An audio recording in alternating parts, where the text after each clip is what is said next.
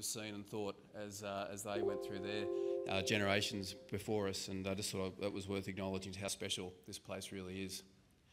Uh, I have the great privilege today of representing uh, many different organisations, some of whom are in this room. Um, while I am the CEO of the New South Wales Rural Doctors Network, this is a very large collaborative project, and uh, as I said, I've been given the honour of actually presenting and speaking on behalf of uh, the whole of the Western New South Wales region. So I would just like to acknowledge that and those that are in the room that have participated in this, this really great and exciting project. Um, and I certainly hope I can do it justice. Where I think this is important for today's conference and the thinking that's going into our meeting is about four, four critical things that I would ask you to pay attention to. The first thing is around workforce, and clearly this is the workforce session, so we'll be thinking workforce the whole way through it. We're talking about the whole the primary workforce here and the services that they deliver. Um, the second is collaboration, and I've already heard collaboration many hundreds of times in the last 24 hours, and I think that is a key theme that's coming through uh, already from the conference already. Thirdly, partnership and what good partnership looks like. And then fourthly, taking knowledge into action. And I think that's probably the key part of today's presentation is to show that a group of organisations and people can actually take knowledge and move it towards action. And we're hoping to show those first steps that we've taken about working together for a whole of region. Before I go into the slides though, I just wouldn't mind you just spending a couple of seconds just thinking about where you're from and your region and the type of people that you deal with in your day-to-day -day work. And uh, really, the key question is how many organisations do you think you'd be working with if you had the chance to talk about a workforce solution for your region? Is it five? Is it two? Is it ten? Uh, and I think that's important because you start to get a, uh, a perspective on scope and scale of what good collaboration and coordination looks like. The reason that I ask you that question is because of this because uh, I stand here before you with uh, 52 organisations and committees working together across the whole of Western New South Wales. And I'm going, many of those are in the room, as I've said today. But this is an incredibly huge undertaking, and I think there's some wonderful leadership that's been shown, not just by organisations and the leaders of organisations, but also those that are doing the working community within those organisations to commit to a common principle and common goals to support community. And I think that uh, we may not be able to read all of those names there at the back of the room. It's a really symbolic thing, isn't it, to show that slide just how many people you could imagine must be involved in this and uh, coming together to help community. So what I've tried to do here in representing the project, uh, which we've called um, at great length the New South Wales uh, 2030 uh, Primary Health Workforce Planning Project, a bit of a mouthful, but each of those words matter.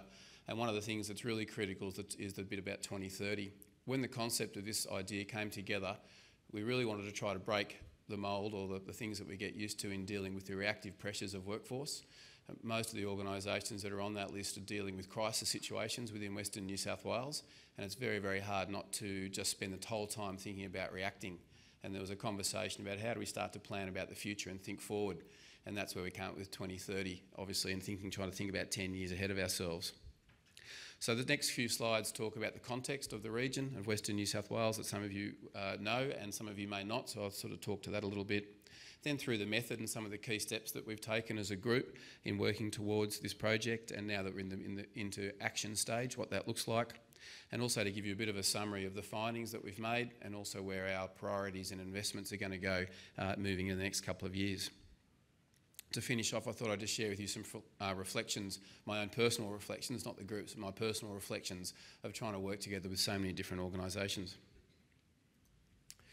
Um, so for those of you that uh, don't know Western New South Wales, well, we're basically talking everything west of Katoomba uh, out towards Broken Hill and the South Australian and Queensland borders. It's a very large region.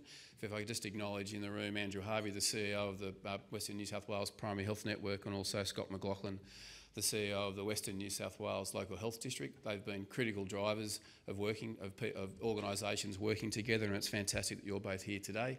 And also um, Steve Rodwell, who's the CEO of the Far Western Local Health District, which is the part in the blue there, and also um, Phil Naden, who's the CEO of uh, Bila Muuji Aboriginal uh, Health Services Corporation as well. So all of us have been heavily involved in this, uh, and a lot of behind the scenes talking about how to make this thing come together.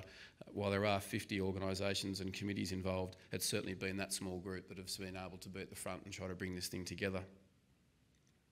What is real is in Western New South Wales we face a crisis. We try very hard not to use that word when we're talking publicly, but I think in a room like this we can. We have a critical workforce shortage across all disciplines within Western New South Wales. Um, and we need to do some work. And there's a big call out to try to work out how to solve some of these issues. These issues weren't created yesterday or last year or two or three years ago.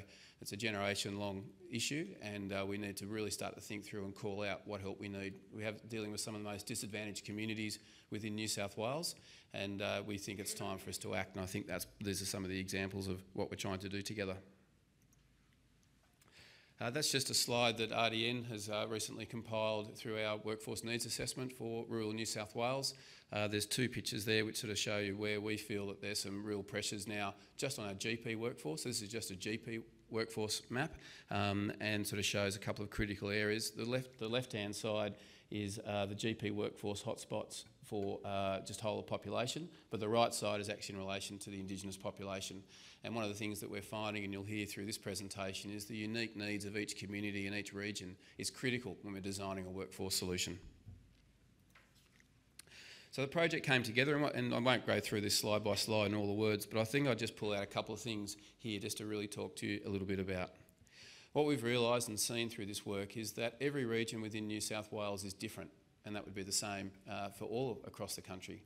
You've seen one country town, you've seen one country town, and those sorts of sayings. But what we have seen across this is while we can talk about a whole of a region approach, and this is a massive, a massive distance that you're talking about here, a vast region, there are sub-regions as well, and the ability to sit and hold and understand, and most importantly, listen to what each sub-region needs and then each community needs is a really critical part of it. There was about 12 months worth of work in this project before we went public, uh, of listening and talking and trying to bring people together and get them to commit to, uh, or at least have an interest in participating together. And I think that's that really critical part of listening. We can go and tell people what we know, but if we don't have them, if we don't have, open our ears and listen to what's coming back, the, that's where the richness really is. The other part to this, he, he was guiding principles, so you see the word principles up there. What we realised is across these multiple of organisations, over 50 different organisations, each of them have a board, each of them have a purpose, and each of them have the need to stay afloat. And what we realised, and I start seeing more and more of some of the competitive behaviours that go around individual organisations and people uh, looking to survive, uh, creates this competitive uh, tension. And so when we went around for those early first 12 months, it was actually trying to understand what's the common thread? What's the thing that holds us together? And uh, a few of us did a review of most of these organisations' annual reports or their constitutions and started to try to really think through really deeply about, and authentically about what, what is the common thread for us in Western New South Wales. And the word that is always there in all of those statutory documents is community. And it was that it was that word and that thinking about what does a community need and why are we here? And it's always about community that actually holds us all together. And we found that to be a really critical element of the idea of trying to talk to people about coming and working together, which often hadn't happened before. Another thing there was about the idea of trying to understand is it possible in a whole of a region to collectively use the resources of the whole to make something grand happen. So the concept of the sum is greater than the individual and how can we do that? Now I don't know yet if we've actually nailed that, but clearly it's being talked about and at least people are sort of appreciating that conversation and that's been a critical part of this work as well. This is a pretty basic slide, none of this will probably surprise you, but uh, having a methodology behind a big project like this was important and has uh, led to us being able to think about how we, how we profile it in forums like this or through publishing as well. And we did think about, that uh, there was nine key steps that we went about. Um, if I may acknowledge Robin Ramsden, who's in the room, who'll be very embarrassed that I've mentioned her name, but she deserves it. Um, uh, Robin was the sort of lead investigator for this, but part of her work was on top of multiple other things that she did, she also interviewed the CEOs or the clinical leads of these organisations and then uh, coded verbatim 1,000 pages of transcript to try to understand what the unique parts of the needs of Western New South Wales were in comparison to other research that had been done, such as Deb and John's work as well. So we tried to get a feeling for not just the local response, but also was there any differences between short short-term reactive responses to workforce and that concept of long-term. So Robin, I'll, I'll just again sing your praises because so much of this has come from your dedication to your work as well. But these nine steps are important because shortly I'm going to talk to you a bit about what partnership looks like and the mechanisms of good partnership. And we think having the structure around a methodology like this gave people confidence and trust to participate and be involved. Where we've landed today is that uh, the project really was working mainly through 2018. Towards the end of 2018, we had the all different organisations in different forms make some sort of commitment, in principle commitment to see this thing move forward. We were able then to co-fund a project manager role who's now started and she's underway and we're in the process now of implementing the 34 critical actions that we've, uh, that we've thought about and agreed to as a group. So these are some of the critical findings that we've done. Now, again, I'm not going to go through each of these point by point, but very happy to share. And also, if we can help in any way and you'd like to make contact with myself or Robin or Sally or any of the team here, we're very happy to share some of these things. But what I found really interesting listening to the previous um, half an hour of conversation is just the commonality in thinking. In reality, people, people like to know their communities are different, but the reality is most of it's pretty similar. But it's again, it's how we listen and, and foster and encourage uh, people locally to understand their own issues, which I think is a really important part of this. So I'll just call out three or four things here that I found really interesting and um, I thought valuable in terms of this project. So it's the impact of short-term employment contracts on recruitment and also retention. Now again, none of that makes a huge deal of surprise to people. But I know for myself, if I was going to make a move somewhere and I had a 12 month contract or less and no guarantee of that, of, of a future, would I make that move? And that comes up time and time again in our work at RDN and across most of these organisations. And that's a critical issue that we need to deal with within this region. The second's around cultural responsiveness. Um, again, I'm on my own learning journey when it comes to uh, cultural understanding and awareness and safety. But at the same time, what we find is that we must ensure that those that are on rural immersion trips as future workforce, or even those that are experienced, are willing to understand the cultural needs and, and expectations of each community, um, not just the region as a whole. The bit about responding to local need is critical. So again, this is the whole idea of trying to understand what really does it going to look like within a local community and what is needed to respond to that community's needs is critical. And that's where I think the different uh, needs assessments that are done by organisations is really important as well because that's where you're starting to marry together all the different pieces of thinking, not just a workforce needs assessment, but the service needs assessment as well. And then the final thing I thought was really interesting through this work was leadership. And John, I heard you mention a couple of times around the role of uh, service managers. If I may give an example for the Rural Doctors Network in New South Wales as the rural workforce agency in, uh, in that jurisdiction, we think about 80% of our efforts to react to a workforce issue within a local community actually comes about because of a breakdown of relationship between the clinician and the service manager, be the practice manager or the health facility manager. And what's the fact that we've been able to identify that and now see that allows us to think through what strategies and mechanisms can we now put in place and invest in to support better workplace relationships, safe workplaces, and those types of things. But the sum of all that leads to one thing, and that's trust. So, what we have absolutely heard through the consultations that we've done is around trusting the system.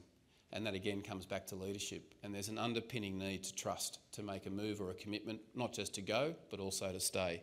And I think that's a really critical finding. And each of these 50 organisations and committees have a role in that for the future.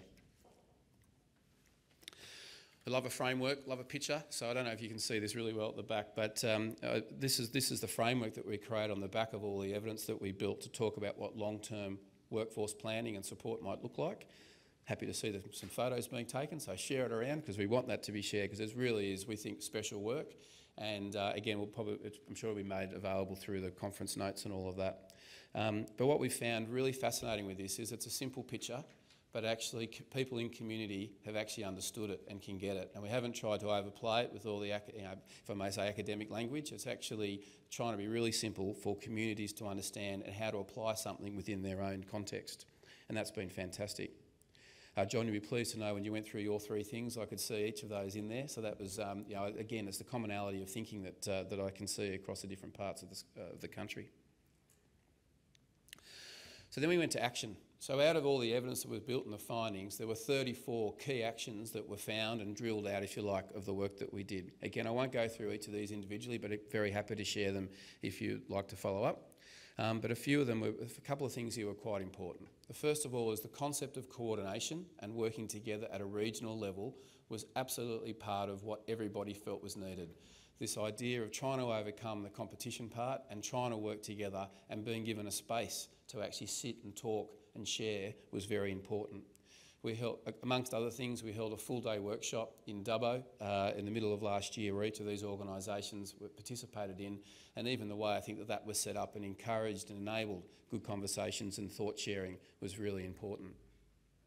The other thing that's come through as one of the critical themes in these actions is around responding locally or a town-based workforce solution and being able to apply these sort of very high level thinkings that we, we know, but actually in the context of a local community. And then we need to try to find the way to make that happen. And it's not just funding, it's actually commitment and investment of time as well that's going to be very important for that. One of the other things that we found, and I can see Hamish at the back that I remember we spoke about, was actually around positivity, this underpinning positivity. So, in Western New South Wales particularly, and it's we're going through a terrible period at the moment of drought and other sort of really crisis sort of issues for communities. And invariably, the thing that makes people sing is the idea of being having that underpinning positivity.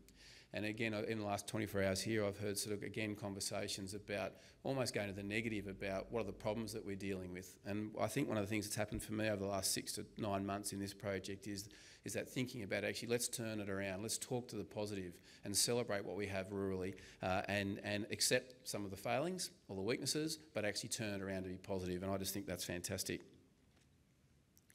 Another one was around co-funded roles. So we're very interested in this. So we have towns across New South Wales, Western New South Wales, that have 0.2, 0.3 FTEs five or six times over with different organisations for a speech pathologist role, for example.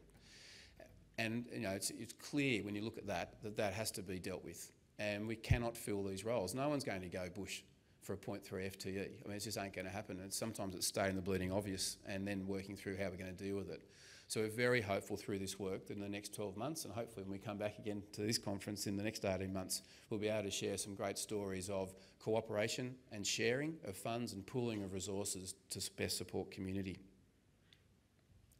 So then to finish, um, these are my personal reflections of where we're currently at. And as I said, we're sort of at the, the cusp here of launching into these 34 actions and, uh, and you know, we're starting to see some results. But these are the, these are the key, key things that I've seen across the course of uh, the last 15 to 18 months in this project and hoping that we can have some influence again moving forward. The first thing's around community first. So in our sort of lives as administrators, it's very easy to get caught up in what we need to do. We hear a lot of talk about patient-centred care. Well, I think in workforce we need to be talking about community-centred solutions and I think that's something that I personally think we need to embed definitely more and more so within each of our organisations and their work. The third thing is about cooperation. Again, we've heard this word collaborate many times already in the last 24 hours, but what does it really look like? And the concept of, of non, non-competitive organisational behaviour is critical. It's, I mean, it's such a leadership position to have to take. And I, I, mean, I even find it hard daily trying to think through the decisions and comments that we're making now. Are they competitive or are they for the good of everybody? And I think it's really, really tough. And all of us have that role to play now to try to be a bit higher and, and, and position ourselves a bit, a bit above what's directly in front of us. The next thing is around what does it take to really govern or manage a partnership very well? And I think that uh, I've just put a few things there at the bottom there around good partnership management. I've been working in, uh, all of us would have, you know, the word partnership gets thrown around everywhere you go. But actually, what we've actually realised through this project and to have 50 different organisations and all their staff involved is what is good partnership really going to look like? And it's the mechanism of, of governance around partnership and cooperation that I think can't be overlooked, and I think it often is. And we've had the chance now to reflect a little bit of our own work in the last six months as we've started to get our head around this and the concept of structure, ensuring we understand what each partner brings to the table, also the risks to each partner, and also where their pressure points are. They take really big hearted conversations and they need to be done in a very safe and caring manner, but without it, at the front end of a partnership, nothing's going to work. And I do think that that's something that uh, we can all learn from and hopefully that we can become better at because without it, I'm not sure we're going to have much success. But that then leads to the final point of my reflections, and that's around leadership. So again, you know, as a, um, we're all learning at different times around what the difference between leadership and management is. We can go and read every book that we want. That's sort of a 101 um, conversation, isn't it? But I can see through this project the organisations and the people who are great leaders, who are social leaders, not just managers. And I think that's the sort of skills that we need to be developing. And everybody, no matter what role you're in in community, whether you're a CEO or whether you're a school teacher or you're a clinician in the community or you're a health service manager, each of us have the choice to be leaders or to, be, or to demonstrate leadership behaviour. And without making that choice, we're not quite sure great things will come from a workforce perspective. So again, I think part of this will be around what does leadership look like, or social leadership in our space. How do we encourage that? How do we celebrate it? And I think that'll be something that we look to try to talk more about in the coming year or two through this project. So that's the, that's the Western New South Wales 2030 Workforce Project. Thanks so much for listening to that and obviously very happy to take any questions as well. Thanks.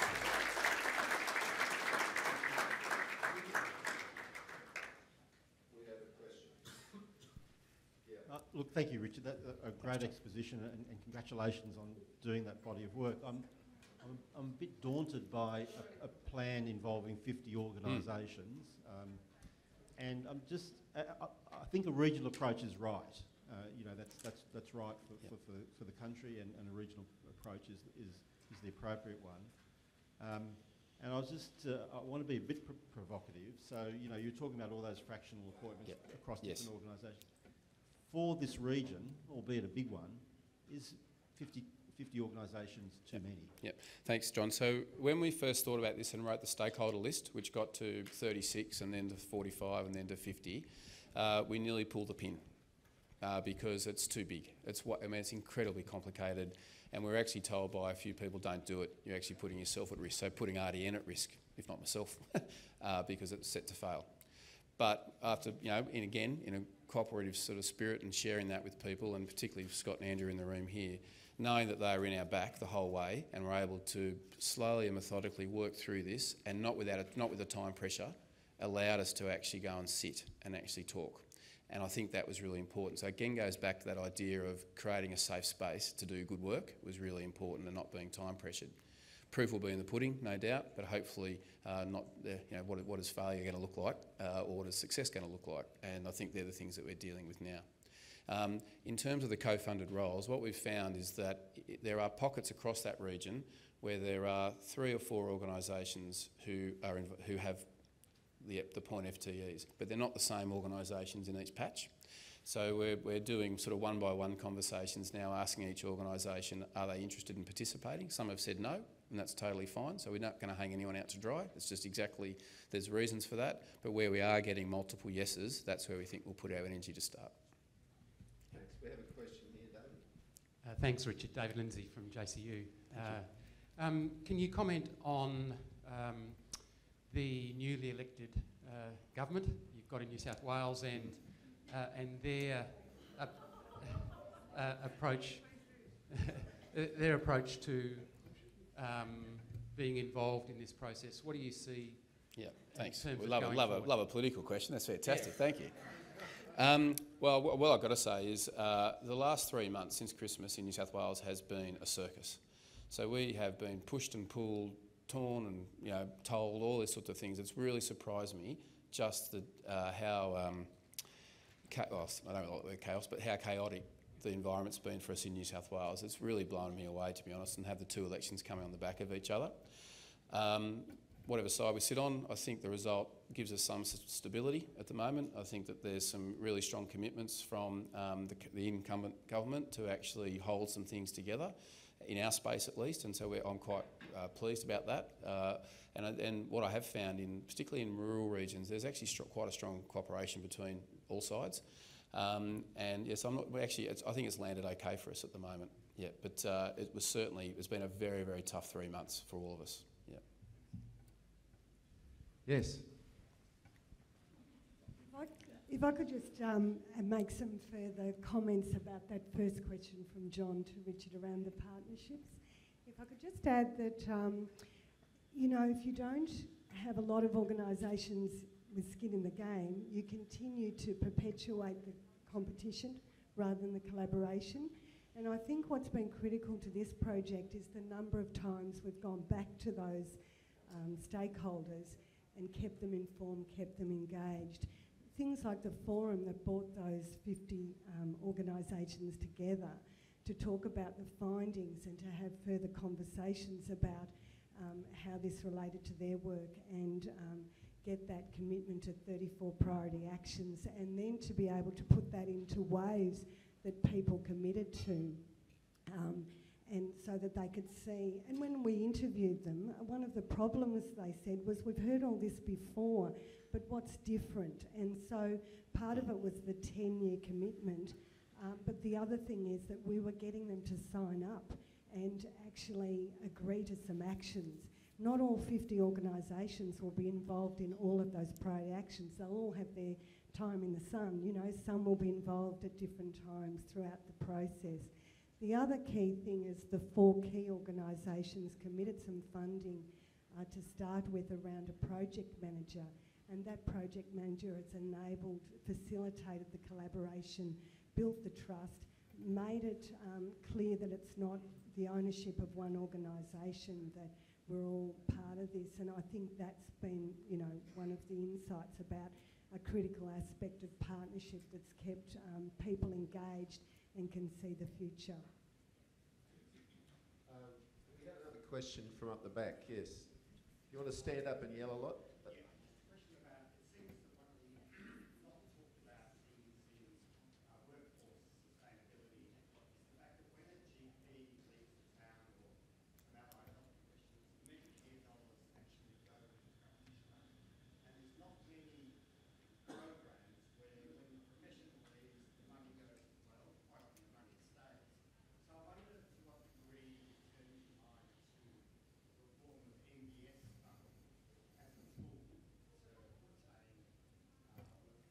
Thank you. So I think the question there was the um, ability of a project like this to raise to the attention of policymakers um, MBS reform, uh, particularly when a GP leaves town and if the money goes with a GP based on the service models of care. Is that, is that a fair reflection of that question? Yeah. Yeah. Yeah. Great. So, uh, if I may answer that in two parts. So, uh, interestingly, for the Rural, Rural Doctors Network, got to be a bit careful where we say this sometimes, but for us in a workforce solution, it may not always be a GP-led solution as well. So for us as a workforce agency, we're looking community by community and trying to determine what the best outcome is for that community. And it may not always have a GP involved or at the centre because of the different needs of different communities. So that's a really important point to that. That then leads to what does the funding models look like? And without a doubt, that's one of the critical issues that we're dealing with at the moment. What we hope, in the sense of Western New South Wales, is to have this cooperative approach. We now have a platform to be able to go and speak and represent the needs of the region and certain communities around different funding streams from government. We haven't taken that step yet, but it's certainly one of the actions that's listed.